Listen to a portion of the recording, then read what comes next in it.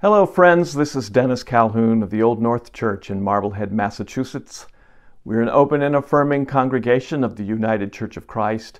And no matter who you are or where you are on life's journey, you are welcome here. Delighted that you're worshiping with us this week. And before we get started, I'd urge you to find the Show More button on your YouTube screen so that you can see the bulletin and follow along.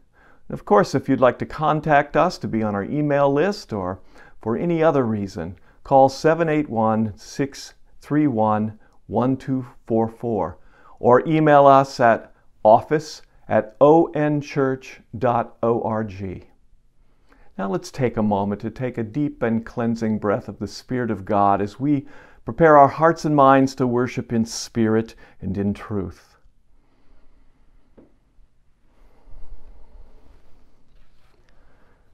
Beloved people, our hearts were made for the glory of God. Let us open our hearts to reflect that glory. Beloved people, we were created in the image of God. Let us live our lives in the likeness of God. Beloved people, we have gathered to worship together. Let us lift our hearts and minds and hands to God. Hello, church. I'm Lindsay Popperson, your associate minister.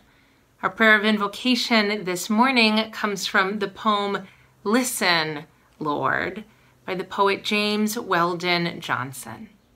Please, will you join me in a spirit of prayer?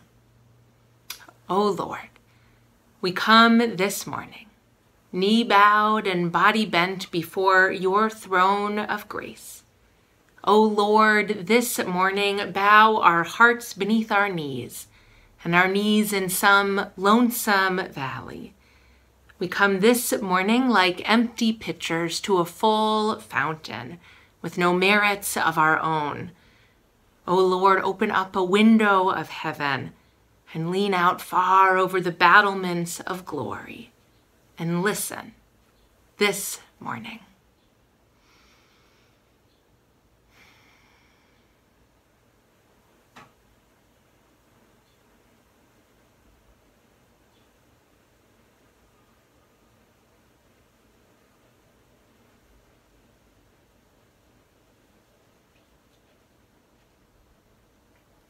When we are out of words, when our hearts are full of fears and hopes too deep to express.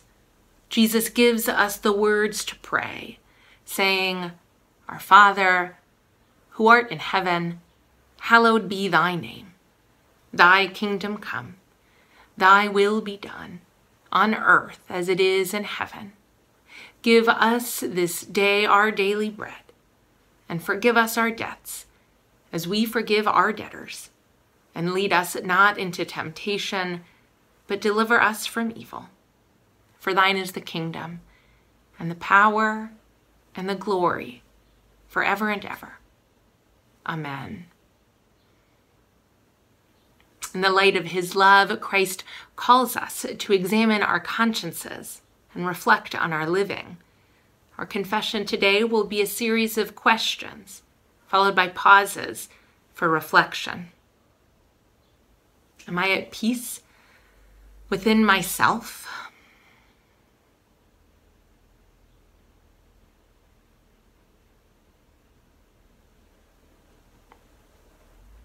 Do I accept that I am profoundly loved and need never be afraid?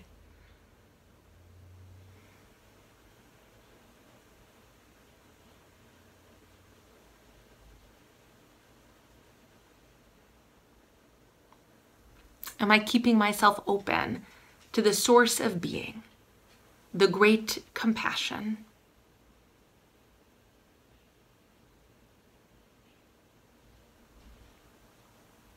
Have I caused suffering to another?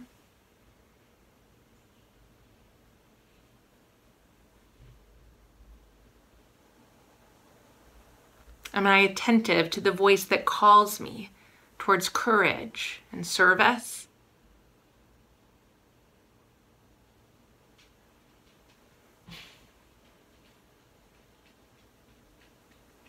Am I willing to accept the mercy and forgiveness that God is so eager to give.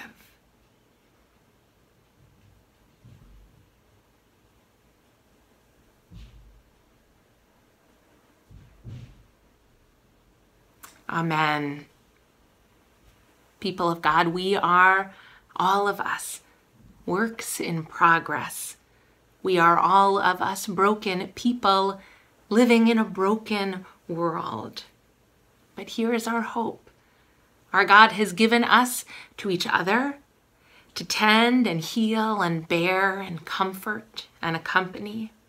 Let us extend God's deep mercy to ourselves and to one another so that love might grow and flourish in our community. Amen.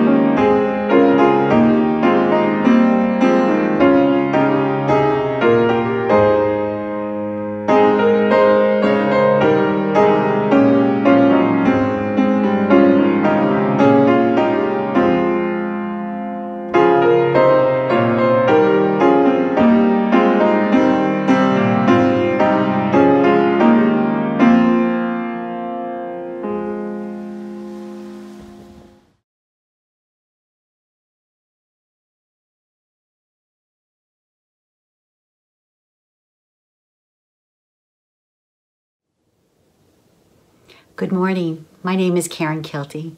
I'm the Director of Children's Ministries here at Old North Church.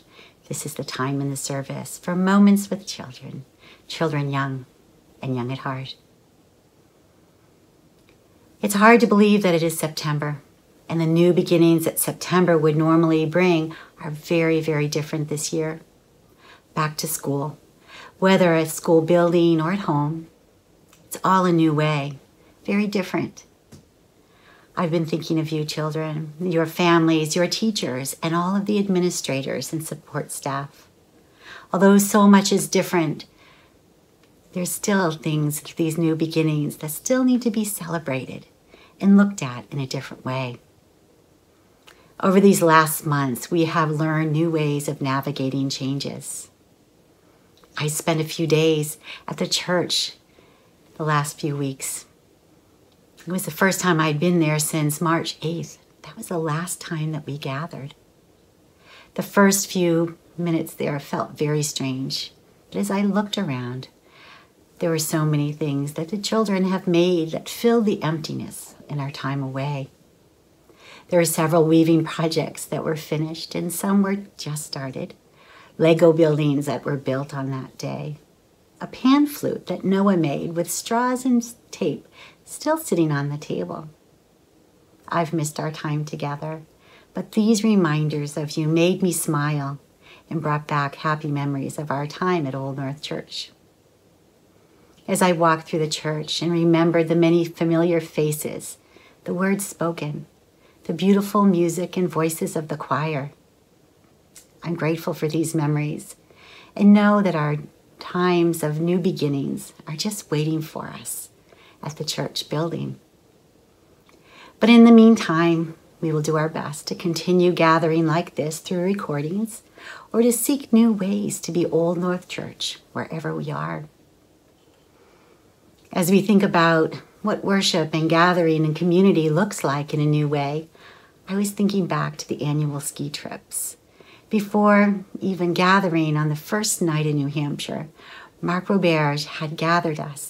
He sent emails and texts that bonded us with the anticipation for what a special time we would have together as Old North Church people, but up in New Hampshire. The first night was dinner, provided by the youth group at Roy and Heather Martin Ski Club. Along with the Kay family and other youth, they welcomed us on that cold and snowy night. The tables were filled with friends, old and new, good food, and good stories. On Saturday, we had time together on the mountain, skiing for some and for others, watching out the window in the lodge, holding spaces for, spaces for skiers as they came in to warm up.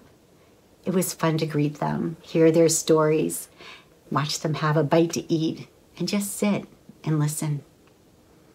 So many sweet moments were captured around that table.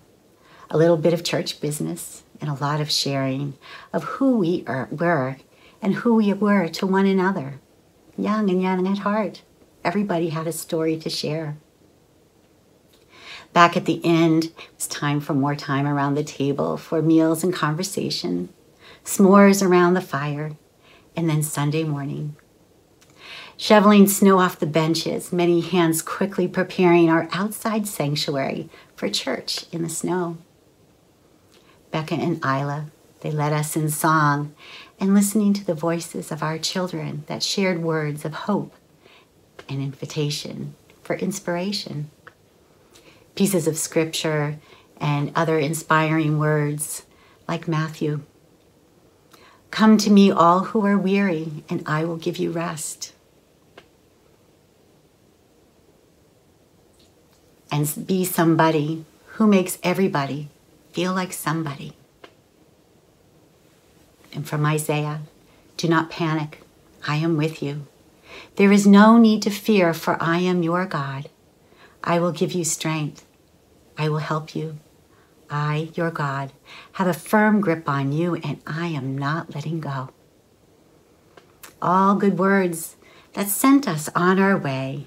And as we said our goodbyes, as we head home, some of us weren't quite ready and decided to stop along the way to do a little ice skating. For some, it was ice skating. For some of us, it was hot chocolate and watching. We saw horses and a wagon go by, and lots and lots of cheering on. Tegan dazzled us with spins and twirls on the ice, and some ventured out to skate for the first time in a long, long time, victorious. And a dad and his son, racing, both to success. All such beautiful moments to treasure. We are church. We are Old North Church, learning and growing in new ways, celebrating who we are, whether we're together in the sanctuary or we are at our homes listening. We do not know when we will gather at the church again, but we are church and thankfully, wherever we are, whether it's a mountaintop, an ice skating pond, thankfully we know that God is always with us. Wherever we are, God is a God of new beginnings. So whether we're in classrooms this week, at home, daycares, or somewhere else, we are new. We are looking at things through a new vision but remembering that we have each other and know that there's prayers on prayers that are sent out as we begin new school, we heal, we spend time together. We are love. Will you pray with me?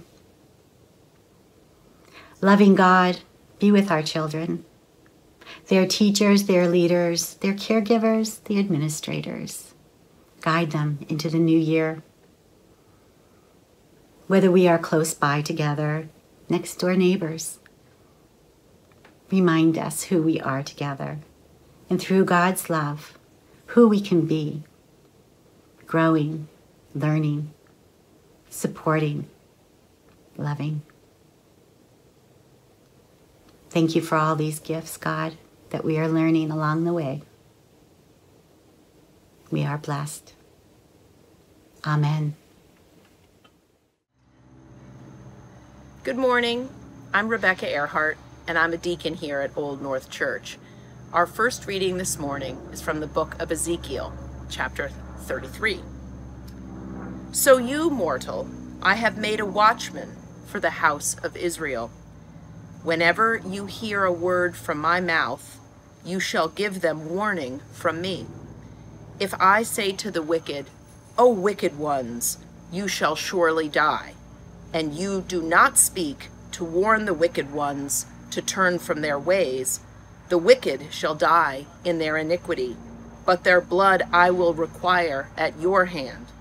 But if you warn the wicked to turn from their ways, and they do not turn from their ways, the wicked shall die in their iniquity, but you will have saved your life.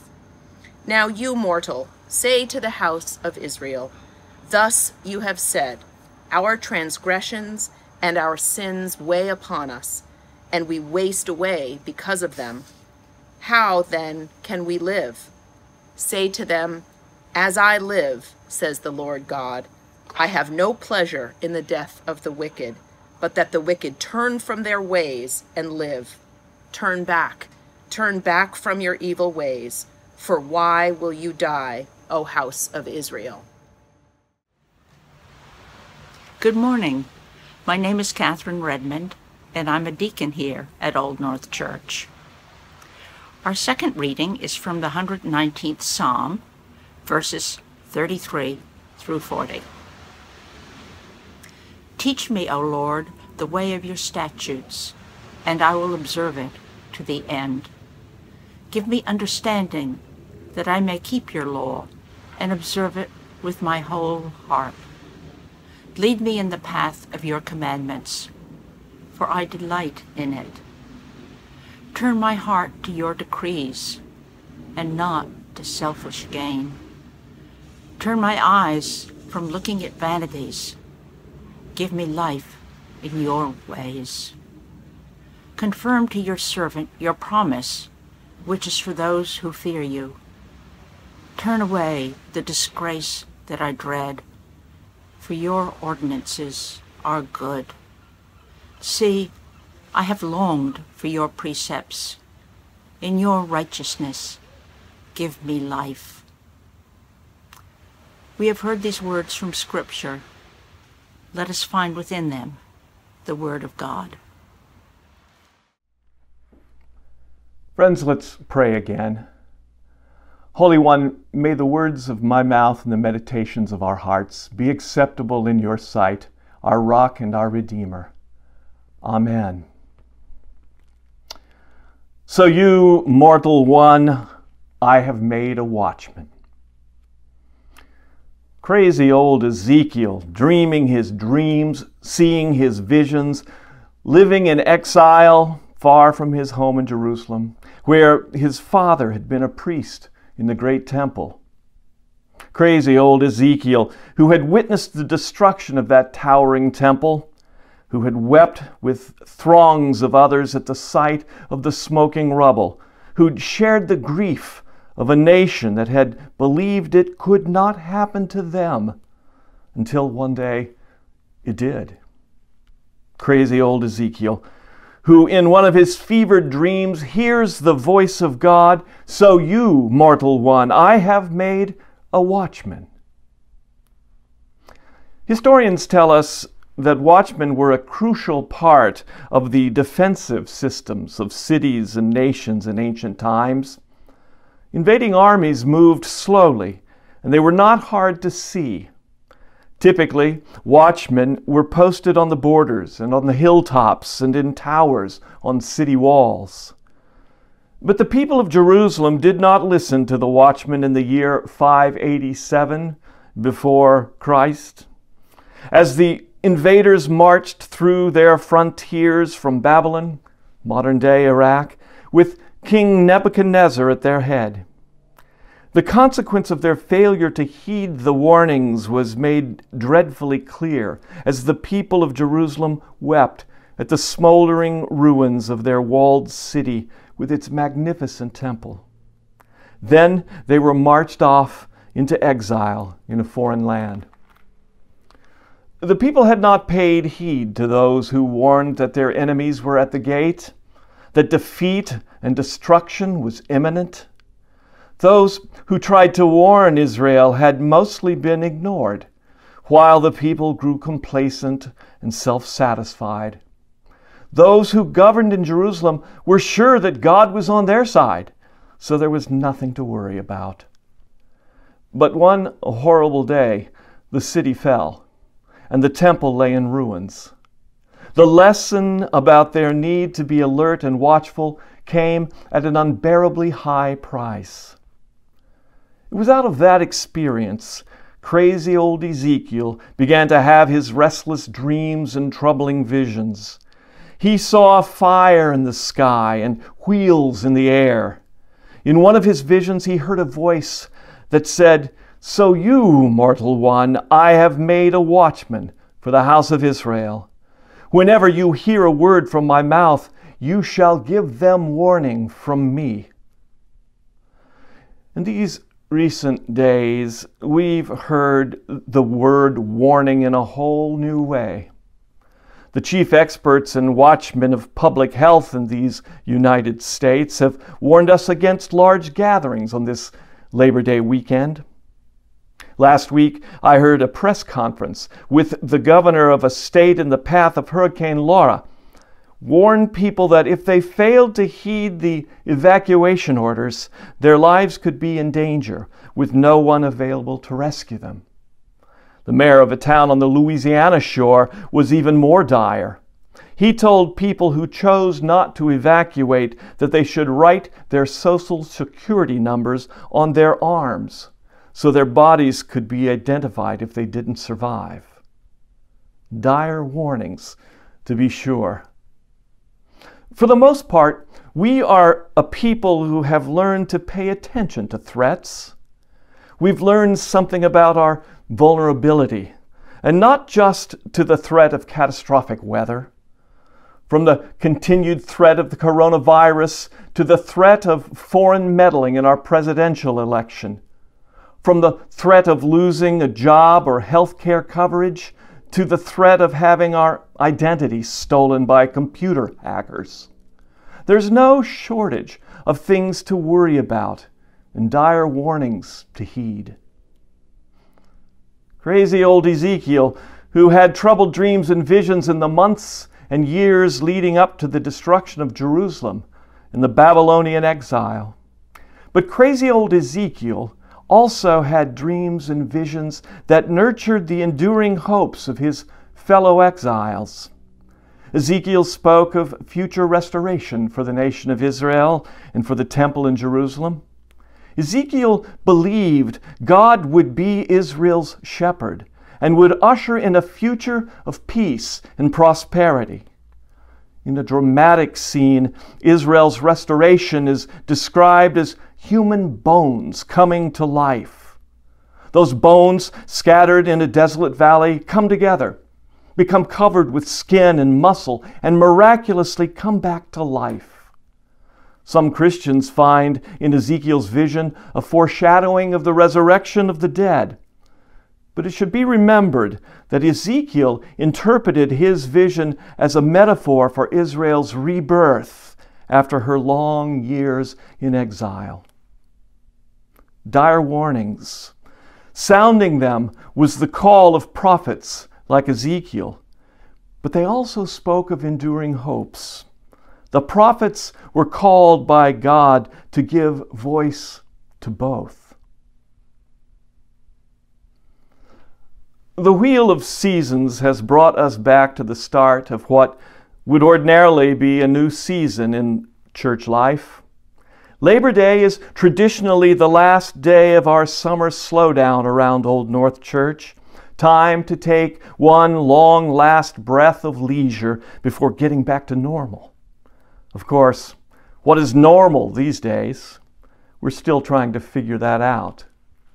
But even before our old patterns of church life were interrupted by a novel coronavirus, some observers of religious life in America had been sounding dire warnings about the survival of the mainline church in America. Watchmen, in the form of pollsters, were telling us that we are in decline, that our days are numbered.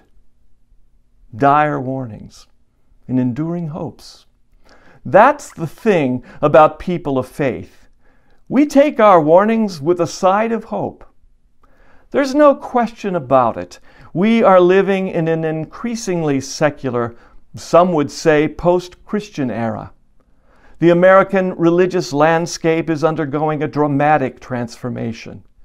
Church buildings are being shuttered or sold as shrinking and aging congregations find it financially impossible to maintain their once robust programs and physical properties. It's been estimated that across the country, 200 churches are closing every week. And that was before the pandemic hit. In their book, Vanishing Boundaries The Religion of Mainline Protestant Baby Boomers, Dean Hoge and Benton Johnson and Donald Luidens suggest that a local church body or denomination that places few demands on its congregants and does not pay attention to the ultimate questions of faith will soon find itself on the sideline instead of in the main line. But here we are, mindful of the dire warnings and the enduring hopes people of faith have faced for ages. Here we are, people of faith. I wonder what moved you to tune into Old North Church on YouTube or to grab your beach chair and worship at the lighthouse. I suspect there are lots of reasons. Some of us come out of habit. Some of us out of hope, some out of guilt. Some come full of compassion, some come full of pain. Some come for the sake of the kids, and some come to make friends. The fact is, we come for all kinds of reasons and with all kinds of needs.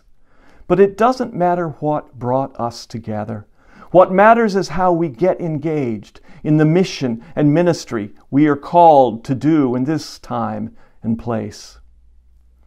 As many of you know, we spent the last several years in a process of discernment around our call as a local congregation and a review of our organizational structure. We spent time transitioning to a smaller, more nimble, and streamlined board and committee structure with the goal of enabling members and friends of the church to get engaged in the work we do. Now our task has been amplified and complicated by the challenge of doing all of this from a safe physical distance from one another. We've heard the dire warnings about the danger of sitting side by side, speaking face to face, singing together, shaking hands, or hugging, breathing the same air.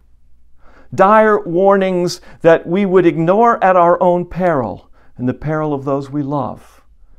Dire warnings about these strange and difficult days in which we find ourselves. Dire warnings about the future of our planet our nation, our health and well being.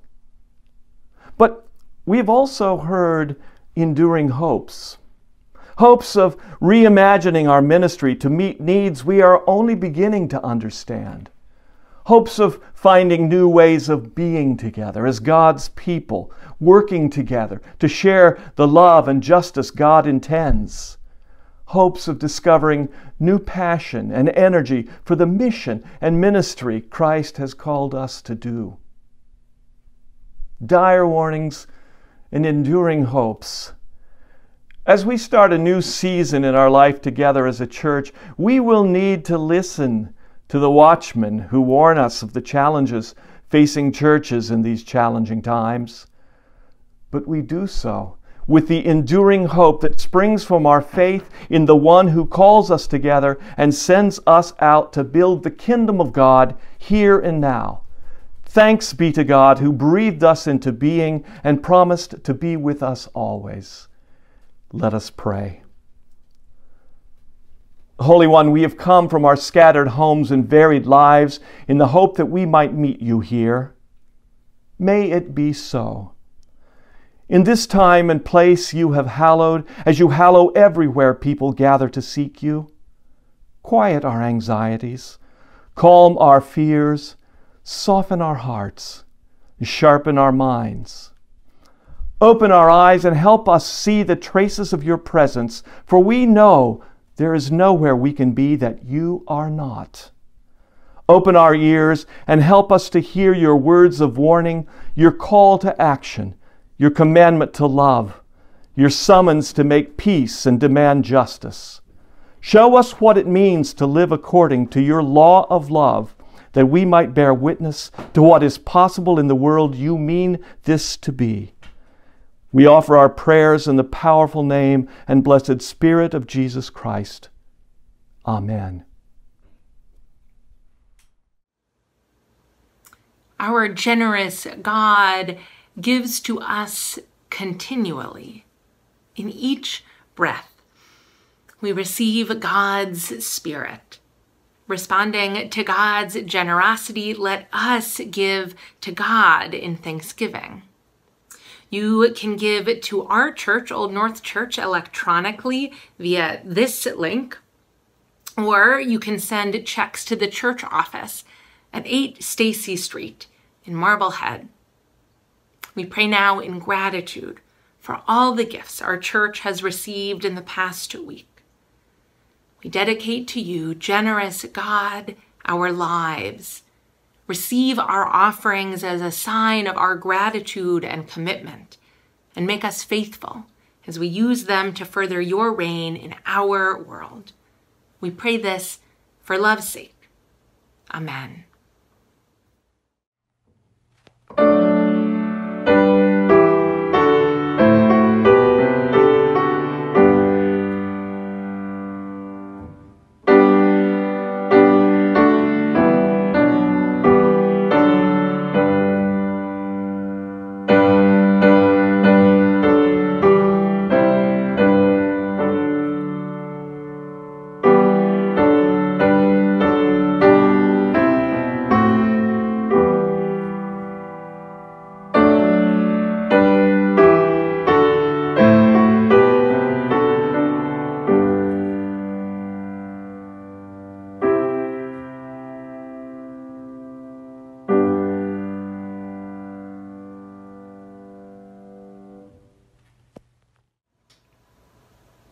Beloved community, the Gospels tell us that on the first day of the week, Jesus Christ was raised from death and appeared to Mary Magdalene.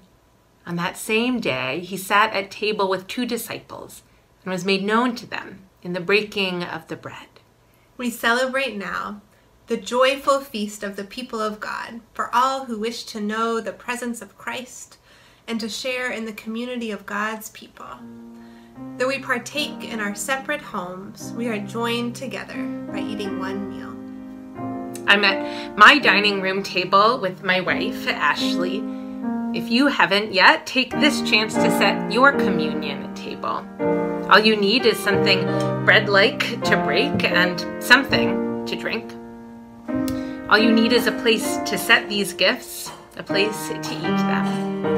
Their simplicity and their commonness, the glory and the presence of God will be made known to you.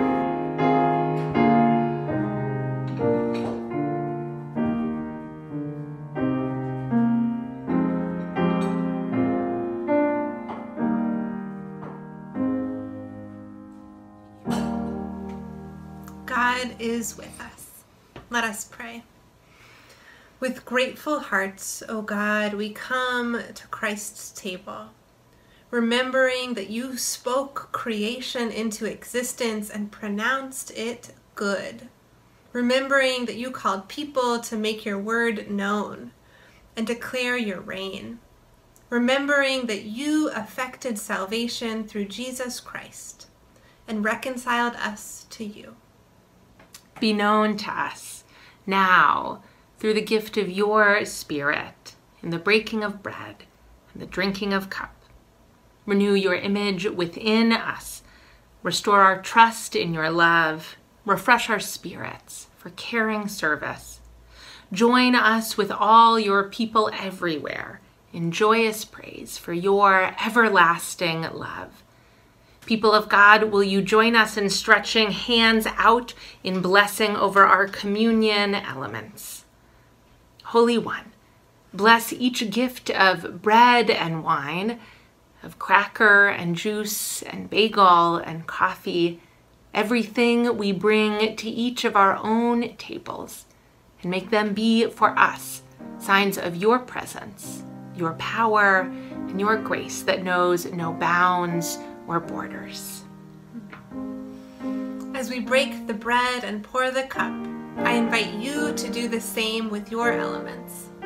We remember that on the night that he was betrayed, Jesus took a loaf of bread, and when he had given thanks, he broke it and said, Take, eat. This is my body broken for you. Do this in remembrance of me. And after the meal was over, he poured out a cup of wine. And he said to his disciples, This is the cup of the new covenant my blood. Do this as often as you drink it in remembrance of me. This is the bread of life for each of you. Take and eat. Ashley, the bread of life for you. Amen. Lindsay, this is the bread of life for you. Amen.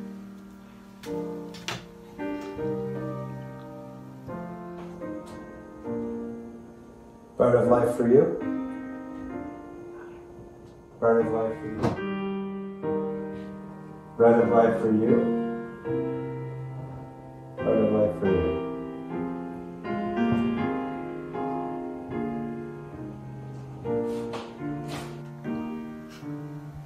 Lindsay, this is the cup of hope poured out for you. Amen.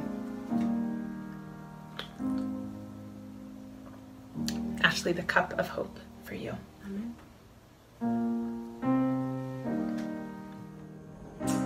Cup of hope for you. Thank you. Cup of hope for you. Thank you. Cup of hope for you. Cup of hope for you, for me.